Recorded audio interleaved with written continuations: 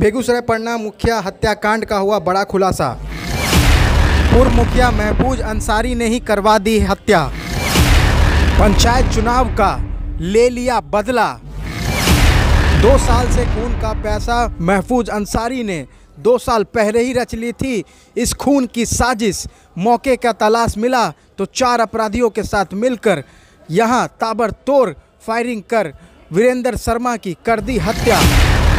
वैसे तो पन्ना के मुखिया को अपनी मौत की साजिश पहले से ही पता थी, क्योंकि पंचायत चुनाव जीतते ही पन्ना के मुखिया ने कह दिया था कि मेरी कभी भी कुछ भी घटना हो सकती है मेरे साथ, क्योंकि पूर्व मुखिया ने जिस तरह से साजिश रचते आए हैं, आज जो है वो साजिश जो है कहीं ना कहीं सही मायने में देखने को मिली, जहाँ पर कुछ दिन पहले पन्ना के मुखिया की हत्या भी हो गई और पूर्व मुखिया जो इस हत्या में शामिल था, वो फ़िलहाल फरार है। लेकिन सवाल ये उठता है कि पिछले दो साल से पन्ना के मुखिया ने यहाँ आम लाइसेंस के लिए अप्लाई किया था, लेकिन पुलिस ने उसको और प्रशासन ने उसको अब तक लाइसेंस नहीं दिया, जिसके कारण ये हुआ कि मुखिया को अपना जान गंवाना पड़ गया और पूर्व मुखिया का जो साजिश था, वो कहीं ना कहीं सफल हो गया। हालाँकि मुखिया फरार है, लेकिन बेगूसराय प्रशासन ने तीन लोगों को गिरफ़्तार किया है।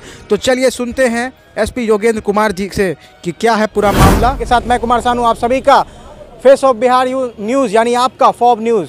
मैं आपका स्वागत करता हूँ। देखिए, दो दिन पहले परना पंचायत के मुखिया हत्याकांड में शामिल तीन अभियुक्तों की पुलिस द्वारा गिरफ्तारी कर ली गई है। एक का नाम अंजुम है, ये मुख्य लाइनर का काम कर रहा था। एक का नाम इश्तियाक है, ये भी लाइनर का काम कर रहा था। और तीसरे का नाम फरहान है ये मुख्य अभियुक्त जो है, महफूज, उसका सगा बेटा है। देखिए, घटना का मुख्य साजिशकर्ता पंचायत परना पंचायत का हारा हुआ पूर्व मुखिया महफूज अंसारी है। महफूज ने 2021 में चुनाव हारने के बाद इस पूरी घटना का षडयंत्र इसने रचा था और ये हारने का बदला लेना चाहता था और इसने अपने घर पे ये पूरी षडयंत्र रची थी अपने अन्य सहयोगियों के साथ मिलकर घटना कारित करने के लिए हथियार, मोबाइल और मोटरसाइकिल इसी ने अरेंज करके अपराधियों को दिया था। चूँकि घटना होने के बाद किसी को इस पर शक ना जाए, इसलिए घटना से यह ठीक पहले सारा इंतज़ाम करके राज्य के बाहर भाग गया था। घटना कारित करने में दो मोटरसाइकिल थे, चार अपराधी थे इसमें, और अंजुम और इश्तियाक इसमें लाइनिंग का बेसिकली काम कर रहे थे। चूँकि अंजुम और इश्तियाक जो मृतक है, उसके भी करीबी थे, और जिसने यह घटना रची, महफूज अंसारी ने यह उसके भी करीबी थे। इसलिए इन दोनों का प्रयोग अभियुक्तों ने जो मुख्य साजिश करता है, उसने किया। घटना के बाद हम लोग ने घटनास्थल को जब विज़िट किया तो घटनास्थल के पास से करीब 20 सीसीटीवी फुटेज पुलिस ने चेक किए। घटनास्थल के आसपास जो लोग थे, उनसे बातचीत की। तो इसमें जो बाकी के लोग शामिल हैं, सभी के बारे में बहुत इंपॉर्टेंट क्लू हम लोग को मिल गए हैं।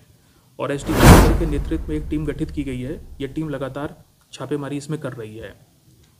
तो कुल मिला के मुख्य अभियुक्त तो जो महफूज अंसारी है, इसकी गिरफ्तारी के लिए चल रहा है और इसके खिलाफ कोर्ट से वारंट और कुर्की प्राप्त करने के आदेश दे दिए गए हैं। मैं आप लोग को इसमें एक चीज़ बता दूँ कि ये जितने भी तीन लोग अरेस्ट हुए हैं तीनों ने अपना अपराध स्वीकार कर लिया है और इन लोगों ने घटना में जो इनका इन्वॉल्वमेंट था और बाकी लोगों का बहुत स्पष्ट रूप से बताया है पुलिस ने वीडियोग्राफी भी की है और इन लोग को आज जेल भी भेजा जाएगा ये सर जो गिरफ़्तार हुए हैं अभी तीन उसमें से ऐसे लोग हैं जो हत्या में शामिल थे खुद देखिए। ये जो तीन लोग थे, इसमें दो लोग लाइनिंग का काम कर रहे थे। ये लोग मृतक के पीछे ही थे मोटरसाइकिल पे। और एक जो लड़का है फरहान, वो मुख्य अभियुक्त का बेटा है, चूँकि घर पे साजिश रची गई थी तो इसको भी प्राथमिकी अभियुक्त इसमें बनाया गया है। और जो चार लोग मारने में शामिल थे, उनके बारे में भी पुलिस ने सब पता कर लिया है। तो कुल मिला के इसमें आठ लोग शामिल थे, और इसमें कोई भी ऐसा नहीं है जिसके बारे में पुलिस को अभी कोई इसमें जाँच पड़ताल बाकी हो। सबके नाम पता हम लोग ने पता लगा लिए हैं। तीन की गिरफ्तारी हो चुकी है दो दिनों के अंदर और बाकियों की भी गिरफ्तारी, जो विशेष टीम लगातार काम कर रही है, बहुत जल्द कर लेगी।